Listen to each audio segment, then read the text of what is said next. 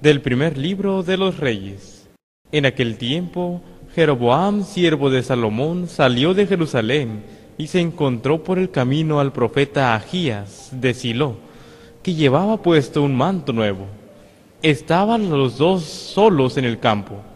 Agías tomó su manto y rasgó en doce pedazos y le dijo a Jeroboam, Toma diez pedazos, pues el Señor Dios de Israel te manda decir, voy a desgarrar el reino de Salomón, a ti te daré diez tribus, y a Salomón solamente le dejaré una en consideración a David, mi siervo, y a Jerusalén, la ciudad que elegí entre todas las tribus de Israel. Y desde entonces hasta el día de hoy, Israel se separó de la casa de David.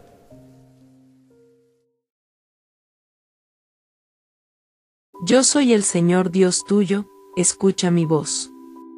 No tendrás un Dios extraño, no adorarás un Dios extranjero. Yo soy el Señor Dios tuyo, que te saqué del país de Egipto. Yo soy el Señor Dios tuyo, escucha mi voz. Pero mi pueblo no escuchó mi voz, Israel no quiso obedecer. Los entregué a su corazón obstinado, para que anduviesen según sus antojos. Yo soy el Señor Dios tuyo, escucha mi voz. Ojalá me escuchase mi pueblo, y caminase Israel por mi camino. En un momento humillaría a sus enemigos, y volvería mi mano contra sus adversarios.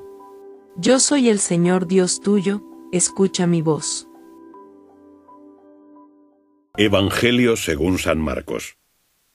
Fue por Sidón hacia el mar de Galilea, atravesando el centro de la Decápolis.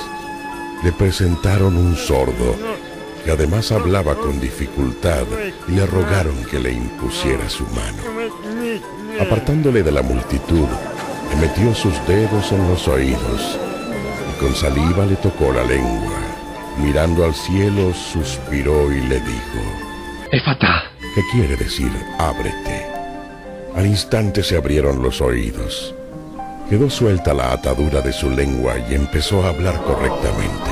Jesús les ordenó que no se lo dijeran a nadie, pero cuanto más se lo mandaba, más lo proclamaban. Y tan admirados estaban que decían, todo lo ha hecho bien. Hace oír a los sordos y hablar a los mudos.